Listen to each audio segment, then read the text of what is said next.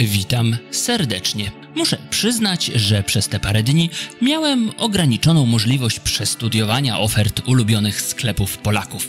Zatem i moje komentarze były nieobecne na kanale. Nie lubię bowiem mówić o czymś, o czym nie mam zielonego pojęcia. Teraz jednak ponownie mam możliwość przyjrzenia się dokładnie ofertom, jak i przede wszystkim odwiedzenia sklepów, do których nie dane mi było trafić przez dobrych parę dni.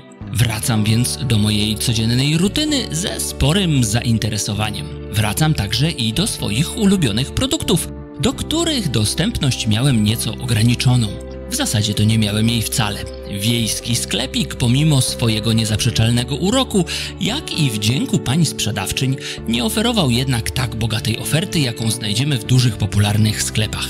Taka odmiana jednak jest moim zdaniem warta swoich niedogodności. Po pierwsze, docenić mogłem sporo lokalnych produktów, których nie uświadczę na przykład w Biedronce.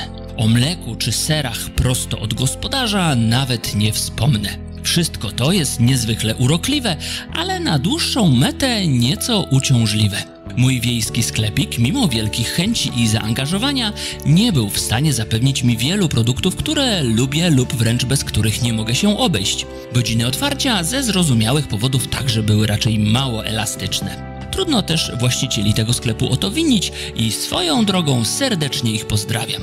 Kilka sporych sklepów z ogromnym wyborem produktów w okolicy to jednak wartość, której nie można przecenić. Z przyjemnością więc wybrałem się dzisiaj do Biedronki na rekonesans i pomimo, że zakupy zrobiłem niewielkie, to sprawiło mi to całkiem sporo frajdy.